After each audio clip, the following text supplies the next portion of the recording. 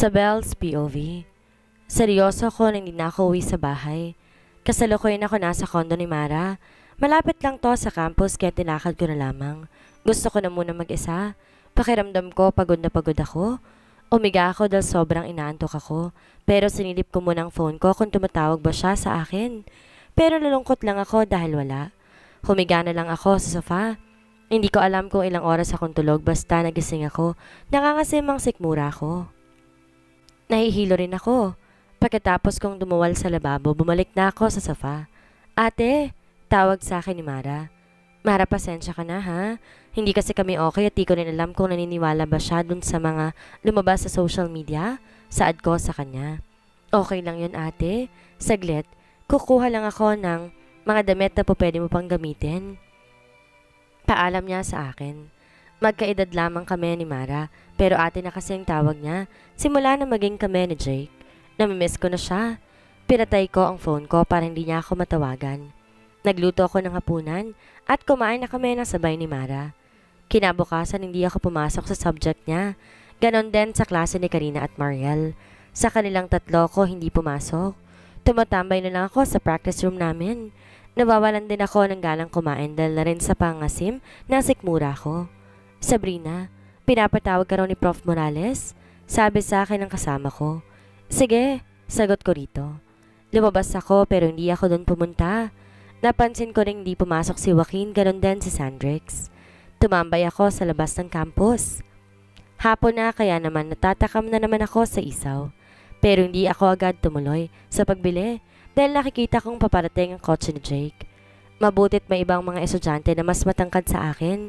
Nakita ko rin kasama niya si Karina, kaya siguro hindi ako hinahanap dahil may kasama na siya. Paano kung tumuloy ako doon kanina? Gagawin nila akong kaawa-awa? Doon ulit ako tumuloy kay Mara. Pang limang araw ko na ngayon. At tuwing pinapatawag ako ni Manong, hindi ako pumupunta sa kanya. Hanggang sa may blind item na naman sa page tungkol sa isang professor. At isang estudyanteng na pag-alaman nilang nagsasama. Sino kaya yung nasa blind item? Dinig kong pag-uusap ng mga nasa tabi ko. Alam mo, bawal kasi yun. Sagot naman ng isa. Mag-name drop na kasi sila. Pinapahirapan pa tayo eh. Ines na sabi naman ng isang estudyante. Umalis na ako sa tabi nila. Hindi ko na siguro kakayanin ng mga susunod na sasabihin nila. Alam ko na kami yon. Naisip ko tuloy paano ako kapag lumabas ang pangalan ko. Ipagtatanggol mo rin kaya ako, Jake? Tanong ko sa sarili ko. Naglalakad ako pa uwi, pakiramdam ko, may nakasunod sa akin. Nung lumingon ako, wala naman. Ang alam ko, umuwi na si Jake dahil wala ng kotse niya sa parking lot. Nagsabi rin si Mara na sa mansyon sa uuwi ngayon dahil yun ang sabi ni Senyora. Nagpatuloy ako sa paglalakad. Bala ko na lang bumili ng pagkain ko sa karinderya dahil pakiramdam ko, matutulog na kagad ako pagdating ko doon. Lagi na lang akong pagod. Sa practice kasi minsan inaabot kami ng tatlong oras. Ate, pabili po ako ng pakbet at kanin. Sabi ko sa tindera. Sige iha, upo ka muna doon at ibabalot ko lamang to. Sagot niya sa akin. Umupo naman ako sa bakanteng silya. Tumingin ako sa paligid. Sa may sulok may isang lalaki na nakahudi ang nakaupo. Bakit parang nakita ko to kanina? Kinilabutan ako kasi paano kung siya ang sumusunod sa akin. Tumayo ako at lumapit sa tindera. Manang, magkano pong lahat? Tanong ko dito dahil magbabayad na ako. Saktong isang daan, iha. Sagot niya sa akin. Ito po ang bayad. Salamat po. Iniabot kong bayad at mabilis na lumabas sa karinderya. Kinakabahan na talaga ako, pero pinipilit kong kumilos ng normal. Binilisan ko ang lakad ko. Baka mamaya eh, may masama itong balak at kung ano pa ang gawin sa akin. Hindi na ako virgin dahil kinuha na ni Manong, pero sarap pa rin ako kaya hindi natulugi sa akin. Ayan na naman ang utak mo. Hindi na naman maiwasang mag-overthink. Malapit na ako sa building. Nang lumingon ako, nasa likuran ko pa rin to. Wala akong laban dahil matangkad to. Kung titingnan ko ng maigi kasing laki niya sa Jake. Nakahinga ako na maluwag dahil nakapasok na ako sa building. Mabilis kong tinahak ang daan papunta sa elevator. Pumasok ako at pinindot ko to para magsara. Pero nagulat ako na may biglang pumigil sa pinto. Napatras ako at sumiksik sa gilid. Nakakainis talaga. Inaantok pa naman ako. Bakit kasi sa pinakataas pa ang unit ni Mara? Naiinis na talaga ako eh, dahil bumibigat na naman ang talukap ng mata ko. Ang bango kasi ng lalaking to, kasing amoy niya ang Jay ko. Sinasampal-sampal ko ang sarili ko para magising ako. Ganitong oras talaga ang tulog ko palagi. Pasalamat naman ako dahil walang ginawa sa aking masama ang lalaking nakasabay ko. Pumasok na ako at ininit ko ang pagkaing binili ko. Pagkatapos ay natulog na ako. Di naman ako puyat pero lagi akong inaantok. Isang linggo na akong ganito. Kinabukasan ay walang pasok. Nililibang ko ang sarili ko. Malapit nang matapos ang first semester kaya po pwede ako sigurong umuwi sa amin sa probinsya. May natira pa naman sa pera ko kaya pwede ko yun gawing puhunan para magtinda sa amin. Nanonood ako ng movie pero pinapatay ko rin dahil naaalala ko lang si Jake. Nakakainis ka? Hindi mo man lang ako sinuyo? Sigaw ko sabay hagulgol. Ilang sandali pa may nag-doorbell. Pinunasan kong luha ko at binuksan ko ang pinto. May delivery man. Wala po akong order kuya. Sabi ko dito. Dito nagsalita at may pinakita sa aking papel. Delivery po galing kay Miss Mara Morales. Basa ko sa nakasulat sa papel. Napansin ko magandang sulat kamay na nagsulat. Saglit po kuya, tatawagan ko muna siya. Pakintay lang po ako. Sabi ko dito. Bumalik ako sa loob. Tinawagan ko si Mara para makasigurado. Hello Mara, may delivery dito sa Euro galing. Sabi ko sa kanya sa kabilang linya. Hello ate? Ah, uh, oo, sa akin yun galing. Sagot niya sa akin pero nauutal ito. Okay ka lang ba? Nagtatakang tanong ko sa kanya. Okay lang ako ate. Masakit kasi ang tiyan ko eh. Pasensya ka na kuya at natagalan. Maraming salamat po. Sabi ko dito at kinuha ko sa kanyang paper bag. Alam ko na pagkain to dahil naaamoy ko. Nabibigyan ko sana to ng tip, mabilis tong tumalikod at naglakad na papaalis. Ayaw siguro niya ng tip. Pumasok na lang ako sa loob para tingnan ang laman ng paper bag. Wow! Literal na napa-o ako sa mga pinadalang pagkain ni Mara. Seafoods kasi lahat. Naiyak pa ako sa tawa. May note din kasama. Enjoy your meal. Hindi ko tuloy maiwasang maalala si Manong. Palagi kasi kaming kumakain sa restaurant na to. Naalala ko rin na bukas, monsa rin namin. Huwag mo na yung isipin. Tumigil ka na sa bell. Saway ko sa sarili ko. Dahil takam na takam na ako, kinain ko ng lahat ng pagkain. Mamaya iti-text ko si Mara para mag-thank you. Naglinis na lang ako sa buong kondo niya. Inabala ko ang malungkot at boring kong buhay. Sa buhay kasi namin ni Jake, laging masayang weekend namin. Pero noon yon, iba na ngayon. Ni hindi niya na ako naalalang hanapin. Siguro kailan kong tagapen na wala na nga talaga ako sa kanya. Minsan naiisip ko, mahal ba talaga niya ako? Naiisip lang ba niya ako Malungkot akong nagising. Araw ng linggo at mansari pa namin ni Manong. Kasalukuyan ako nakaupo sa kama. Hindi ko napigilan ang sarili kong umiyak ako ng umiyak. Hindi malang ba niya ako hinanap? Hindi malang ba niya ako na-miss? Tumayo ako at naligo na. Buo na ang desisyon ko. Kukunin ko na doon sa bahay ang mga gamit ko. Maghahanap na lang ako ng apartment na po pwede kong tuluyan pansamantala. Bukas na bukas din hahanap ako ng part-time job. Paglabas ko, nagulat ako dahil nakauwi na pala si Mara. Ang buong akala ko mamayang gabi pa to uuwi. Good morning, ate. Sabi nito sa akin. Good morning, Mara. Matamlay na sagot ko sa kanya. Para sa'yo, ate. Aniya sabay abot ng isang bouquet ng bulaklak. Thank you pero bakit mo ako binibigyan ng bulaklak? Nagtatakang tanong ko sa kanya. Napadaan kasi ako sa flower shop. Alam ko na gusto mo yan kasi sabi sa akin ni Me... I mean, sabi kasi ni Mommy, punta raw tayo sa mansyon mamaya. Sagot sa akin ni Mara. Bakit daw? Nagtatakang tanong ko sa kanya. May okasyon kaya? O baka may nagawa akong mali? Baka binaliktad ako ni Manong. Ang daming pumapasok sa isipan ko. May dinner kasi at saka gusto kanyang makita. Namimiss ka na raw niya. Nakangiting sabi pa ni Mara sa akin. Kaya nakahinga naman ako ng maluwag. Ganun ba? Parang nakakahiya? Sabi ko dito. Pakiramdam ko naman kasi hindi na ako maaaring pumunta sa manson, lalo na ngayon na hindi kami okay ni Manong. Basta, uuwi tayo. Nakangiting sabi niya sa akin. Pwede ba akong umalis muna? Kukunin ko lang mga gamit ko sa bahay ng kuya mo. Maghahanap na rin ako ng bagong trabaho at matutuluyan. Paalam ko kay Mara. Wag! Huwag ka nang umalis dito. Mas gusto ko na dito ka nakatira. Sabi niya sa akin. Pasensya ka na pero nakakahiya na kasi eh. Sige, alis na muna ako. Paalam ko sa kanya mga aalis na ako nung hinawakan niya ang kamay ko. Ate, bukas mo nilang kunin yon, sasamahan kita, promise. Pigal niya sa akin. Sige, sabi ko sa kanya. Umupo na lang ako sa sofa at napangiti ako nang makita ko ulit ang bulaklak. Sobrang ganda kasi nito, halatang mamahalin. Maaga pa pero inaantok na naman ako. Nakakainis lang dahil palagi talaga ako inaantok.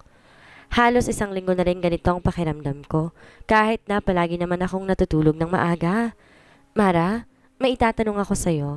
Ano yon ate? Sagot niya sa akin. Kasi may mga blind items sa page ng school. Sa tingin mo, ako kaya yon? Tanong ko sa kanya. Kita kong gulat sa mukha niya. Nakita mo ba yon? Ang alam ko, burado na yun ah. Hindi ko nakita. Narinig ko lang sa ibang students.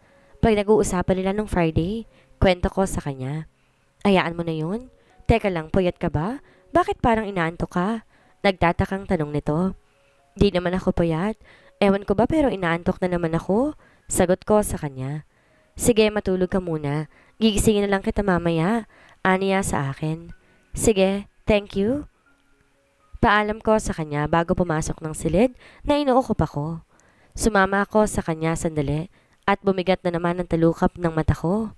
Hindi ko alam pero pakiramdam ko may humahalik sa akin. Sobrang bigat ang talukap ng mata ko na kahit piliti kong idilat hindi ko naman magawa. Siguro na naginip ako. Ang sarap naman humalik ng taong to. Parang si Jake ko.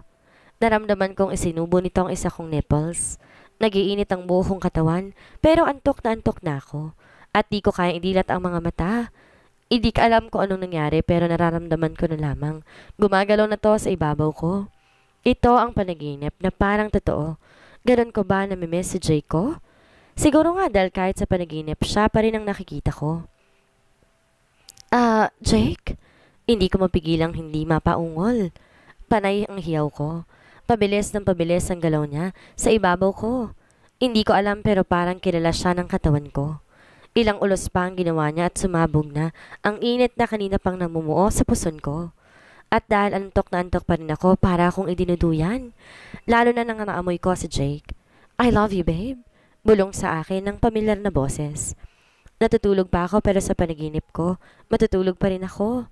I love you, Jake ko. Napaiyak ako habang sinasabi ko ang mga katagang yon. Nagising ako na medyo mabigat ang pakiramdam ko. Hindi ko naiwasang isipin ang panaginip ko para talaga siyang totoo. Pero bakit kumikirot ang perlas ko? Hindi ko na lang ito pinansin dahil malabo nang may gagalaw pa sa akin. Bumangon ako, tinanap ko si Mara. Napatingin ako sa wall clock, alas 4 na pala ng hapon. Lumabas na ako ng silid ko. Hi ate, bati sa akin ni Mara. Wala kay Marang atensyon ko kundi sa lalaking katabi niya. Hindi man lang ako tinapunan ng tingin ni Manong. Medyo nasaktan ako. Kung di lang kami nagka-problema, tumakbo na siguro ako para yakapin siya na mahigpit at halikan siya. Sobrang namiss ko siya. Um, ate, kay kuya tayo sasabay papunta sa manson? Ngumiti lang ako at di nagsalita. Nagpaalam muna ako dito na pupunta lang ako sa kusina. Uminom ako ng tubig dahil pakiramdam ko na nuyo ang lalamunan ko. Nagulat ako nang dumaan to sa tabi ko para kumuha ng baso at uminom rin to ng tubig. Sa tingin ko wala yata tong balak na kausapin ako kaya nilakasan ko ang loob ko. Senyorito, kukunin ko ng mga gamit ko sa bahay mo. Nakayukong sabi ko. Do whatever you want. Yun lang ang sinabi niya bago niya ako iwan sa kusina. Nasaktan ako sa naging sagot niya. Hindi mo lang niya ako pinigilan. Bumalik na naman ba siya sa dating Jake? Nasa na yung malambing na Jake ko? Pumalatak ang luhang kanina ko pang pinipigilan. Mabilis ko tong pinunasan. Pumasok na ulit ako sa kwarto ko. Di na ako nagabala pa at tumingin sa kanya. Nag-aalangan talaga akong sumama sa kanila. Kanina nagugutom ako pero ngayon wala na akong ganang kumain. Narinig ko na ang kumakatok sa pintuan si Mara kaya lumabas ako. Ate, ba't ka pa nakabihes? Tanong nito sa akin. Sorry Mara pero hindi na ako sasama. Dito na lang ako. Sabi ko sa kanya. Pero ate, hinihintay ka ni mommy. Malungkot na sabi nito. Kasi an... Mara, let's go. Do not waste our time sa mga taong pa-importante.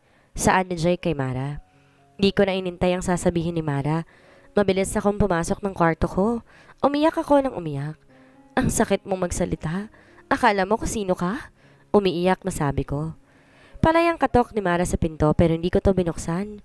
Sobrang nasaktan ako. Ate, aalis na kami. Paalam nito sa akin. Hindi ako sumagot.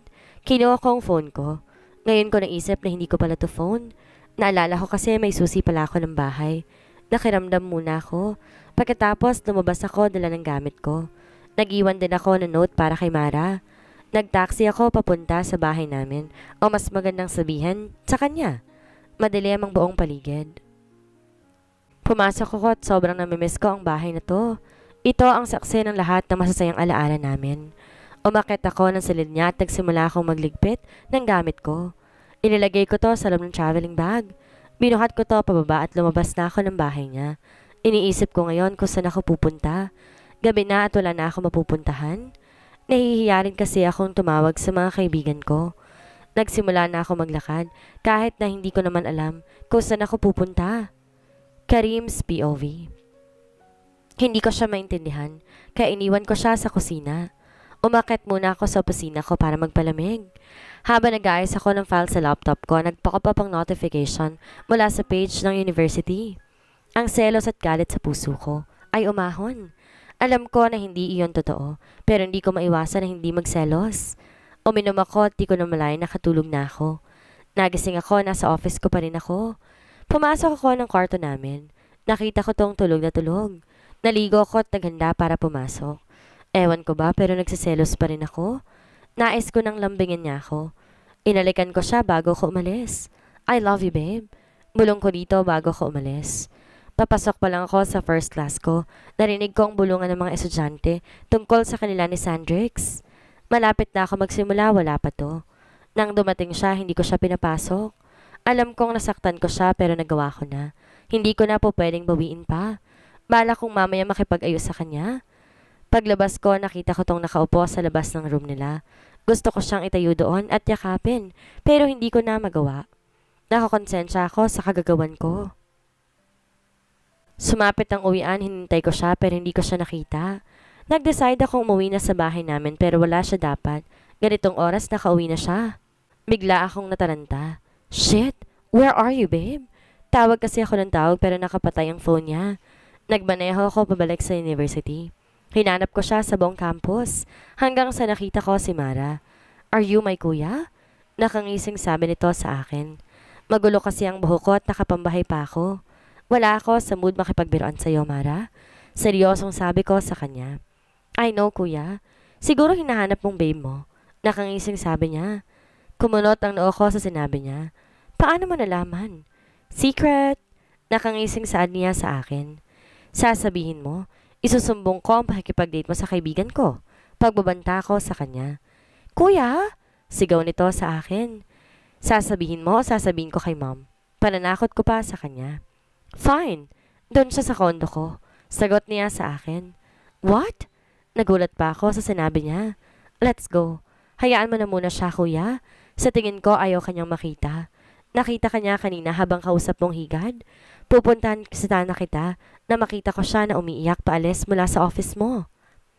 Saan nito sa akin? Shit! Mas kailangan ko siyang kausapin. Sabi ko dito. Bakit di niyo muna bigyan ng space ang isa't isa, kuya? Sabi ng kapatid ko. Napaisip ako sa sinabi niya.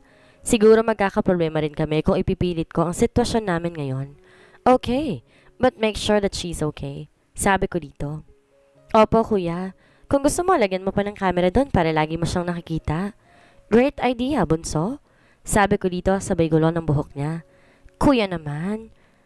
Alam ko na masaya ka pero wag mo nang guluhin yung hair ko. Nakangusong reklamo niya pa sa akin. Iyahatid na kita, bunso. Gusto ko rin siyang makita. Sabi ko dito. Okay, tipid na sagot nito. Nagmaneho ko papunta sa kondo niya. Katunayan, walking distance lang naman to mula sa school. Napangiti naman ako dahil alam kong maayos lang to. Bukas, lalagyan ko ng mga hidden camera ang kondo ni Mara. Pagdating namin, nagpaiwan ako sa labas. Kailangan muna naming malaman kung nasan siya. Pumasok na sa loob si Mara. Ilang sandali pa ay lumabas na to. Kuya, pasok ka na. Tulog pa siya. Saad nito sa akin. Mabilis na naging kilos ko at pumasok ko kaagad. Nakita ko tong tulog sa sofa. Nilapitan ko to tinilikan sa labi. Sorry babe, I love you. Bulong ko dito bago ako nagpaalam sa kapatid ko na uuwi na ako. Nalungkot din ako dahil hindi ko siya makatabi ngayong gabi at sa mga susunod pang araw. Kinabukasan, maaga akong pumasok sa university. Hindi ko to nakita at di siya pumasok sa klase ko. Sumapit ang tanghali, pumunta ako sa kondo ng kapatid ko para set up ang hidden camera. Nang maayos ko na, bumalik na ako sa trabaho. Sumilip ako sa practice room nila.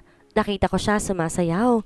Biglang napakuyom ako ng kamao ko na makita ko na lumapit sa kanya ang kasamahan niyang lalaki na ayon sa narinig ko ay may gusto sa kanya. Umalis na kaysa makagawa ako ng mga bagay na hindi naman dapat. Hindi ko rin nakita ang narantarantadong pinsan ni Locke. Kapag nalaman ko lang na siya ang may kagagawa ng mga post doon sa page, baka mabasag kong mukha niya. Pinagbantaan ko na pero wala pa rin siyang pakialam. Hindi niya ako sinunod. Pagsapit ng uwian, hindi muna ako umuwi. Sinusundan ko siya. Doon ko pinarada sa kondo ni Mara ang kotse ko. Tuwing gabi, sinisilip ko ang mga footage. Doon ko lang kasi to nakikita. Napansin ko, antukin to. Marahil pagod na pagod sa practice nila. Doon ko siya lihim na pinagnanasaan. Nakikita ko kasi siyang nakatapis ng towel kapag galing sa banyo. Hindi ko maiwasang mag-init. Ilang araw na akong walang bed life. Iniwan na kasi ako ng babe ko eh. Hindi ko siya tinatawagan dahil nakikita ko naman siya lagi sa phone ko. I miss you so much, babe. Napapamura ako mag-isa dito sa kwarto namin. Nakontento muna akong magsarili. Hindi ko talaga akakalaing darating ako sa punto na magsasarili ako. Oh, babe. Hindi ko mapigilan habang iniisip ko ang magandang mukha ng babe ko. Ilang sandali pa at nakaraos na ako. Halos araw-araw na yun lang ang routine ko. Nagiging stalker niya na ako. Isang gabi habang pauwi ito, sinusundan ko siya. Napapangiti ako dahil alam kong kinakabahan to. Alam ko iniisip niya masamang tao ko. Mabilis kong pinigilan ang elevator. Kita kong gulat sa mukha niya nang pumasok ako. Narinig ko rin siyang nagsasalita. Ano ba, Sabel? Huwag kang matulog. Sinampal-sampal nito ang mukha niya marahil ay inaantok na naman ito. Nang makapasok ito, hindi muna ako umalis. Umupo ako sa may sulok at sinilip ko ang kamera. Nakita kong kumakain to. Wala si Mara kaya bala kong dito na matulog. Ang dapat ko lang gawin hintayin siyang makatulog. Bumaba muna ako para kumain ng dinner. Pagkatapos ko, bumalik ako sa itaas. Sakto tulog na siya. Naligo muna ako bago tumabi sa kanya. Niyakap ko siya at nagulat ako nung hinawakan itong kamay ko para yakapin pa siya na mahigpit. Malalim na ang gabi pero eto ko, dilat na dilat pa rin. Pinagmamasdan ko ang maamo at maganda na yung mukha. Hindi ko rin napipigilan ng sarili ko na halikan siya. Lumapit ako sa room ni Mara at doon ako natulog. Kinabukasan nagpanggap pa akong delivery rider para dalhan siya ng pagkain. Natutuwa akong makita na magana siyang kumakain. Kahit di ko siya katabi, masaya ako nakikita ko siya. Pero taranta ako na makita ko tong umiiyak. Naalala ko. Bukas na pala ang monthsary namin. Kailangan kong gumawa ng sorpresa para sa kanya. Humingi pa ako ng tulong kay mommy at Mara. Napingot ko tuloy ang tenga ko. Lintik kang bata ka? Ano bang ginagawa mo sa buhay mo? Pinayagan kita sa mga gusto mo pero ito ka? Napakapasaway mo talaga? Sermon sa akin ni mommy habang patuloy sa pagpingot ng tenga ko. Mom, masakit. Kaya nga gumagawa na ako ng paraan para magkabati kami. Ani ko rito. Kinabukasan sabay kaming bumalik ni Mara sa kondo niya pero nasa labas lang ako. Nag-ring ang phone ko. Hello? Naku kuya, balak yung kunin ang mga gamit na sa bahay ninyo. Balak yatang iwan ng babe mo eh. Sabi sa akin ni Mara. Pigilan mo siya. Hindi niya ako pa pwedeng iwan. Utos ko sa kapatid ko. Okay na kuya. Katunayan natutulog siya kaya pumasok ka na. Sabi nito sa akin. Mabilis akong pumasok at tumiretso kagad ako sa silid nila. Mabilis akong pumasok at tumiretso kagad ako sa silid niya. At tama ang kapatid ko dahil natutulog to ngayon. Di ko maiwasang tigasan na makita kong makinis niyang hita. Nakasoto ng bestida at lumihisto, kaya kitang kita ko ang pinananabikan ko na sobra. Pinagpapawisan ako at ilang ulit na napanunok, hanggang sa hindi ko na mapigilan pang sarili ko na angkinin siya.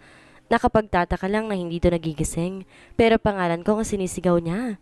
Lalo akong ginanahan dahil sa naririnig ko. Ilang ulos pa ang ginawa ko at sumabog niya ang mainit kong kata sa sinapupunan niya. Inayos ko siya at lumabas na ako na parang walang nangyari. Ang lawak ng ngiti natin ah. Puna sa akin ng kapatid ko. Shut up! Kalmadong saway ko pa sa kapatid ko. Ewan ko sa'yo kuya.